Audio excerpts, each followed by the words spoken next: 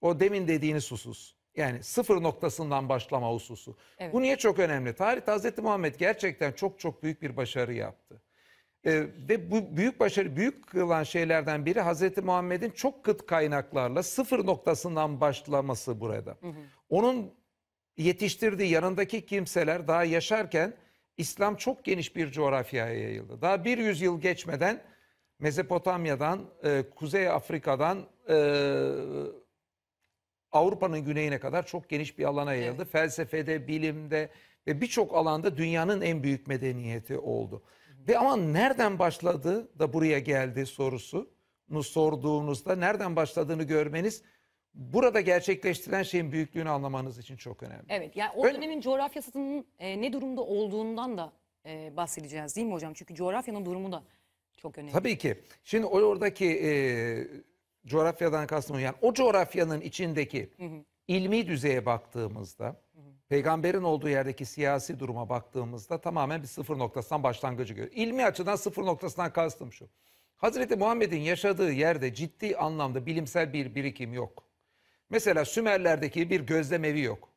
Ki Kur'an'daki olağanüstü ifadeler işte böyle bir bilimsel birikimin üstüne geldi denilebilecek hiçbir yer yok.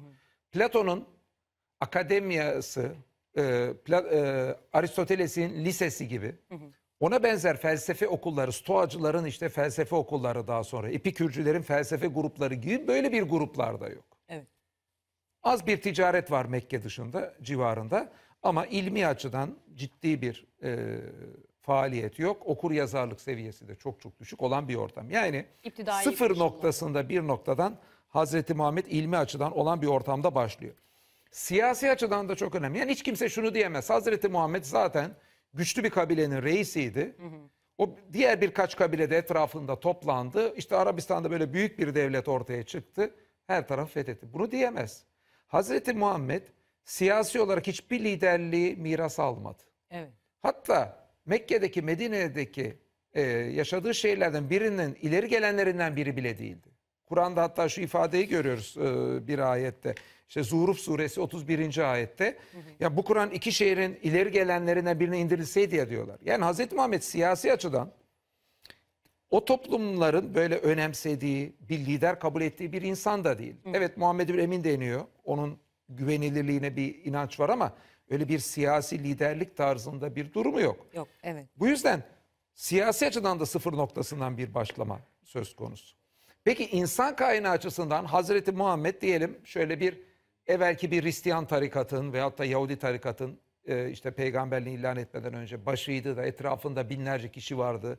Sonradan işte İslam'ı vaaz etmeye başladığında binlerce kişiyle bu işe başladı denilebilecek bir durum var mı? O da yok. Yani Hazreti Muhammed İslam'ı anlatmaya başlandığında tek başınaydı birer birer işte Hazreti Hatice, Hazreti Ayşe gibi etrafındaki insanlarla birer birer birer birer büyüttü. Yani insan kaynağı açısından da sıfır noktasından başladı. Peki şöyle bir şey diyebilir mi birisi? Ekonomik güç açısından çok çok zengindi. Karun gibi hazineler vardı. Onunla ordular satın alındı bir şey yapıldı. Hayır öyle bir şey diyor.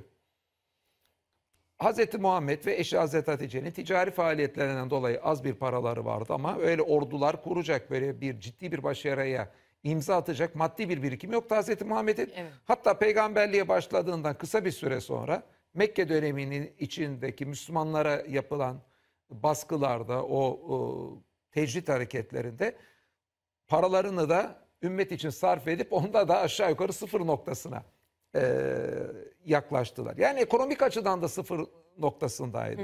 Ha şimdi bu kadar her açıdan sıfır noktasından başlayan Hazreti Muhammed'e bir bakıyoruz.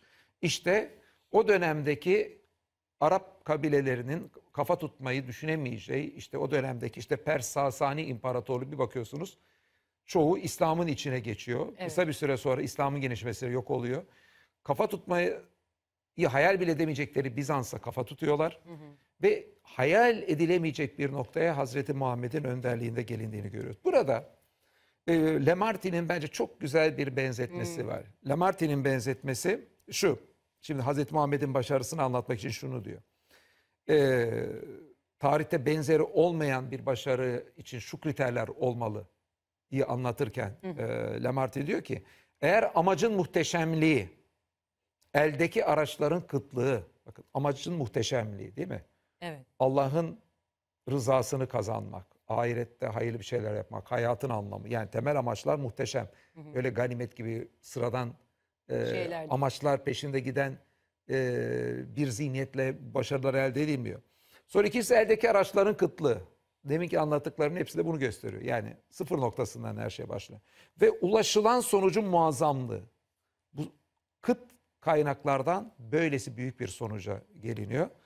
Bir kişinin dehasının ölçüleri ise tarihteki hangi insan Muhammed'e bu konuda kafa tutabilir diyor değil mi? Evet. Nitekim e, dünyanın en etkili kişilerini tespit etmeye çalışan bir gazeteci Michael Hart, tarihin en etkili kişisinin Hazreti Muhammed olduğuna kanaat getiriyor. Bir, Bir numarada. numaralı. Evet. Bu yani tamamen tarafsız bir araştırma. Nitekim ikinci olarak Isaac Newton'u, üçüncü olarak da Hazreti İsa'yı görüyor. Evet. Hazreti İsa niye üçüncü oldu acaba diye düşünebilir. Onda da diyor ki Hazreti Muhammed hem siyasi lider hem Müslümanların inandığı temel inançların temellerinin hepsini o attı. Evet. Fakat e, Buyurun.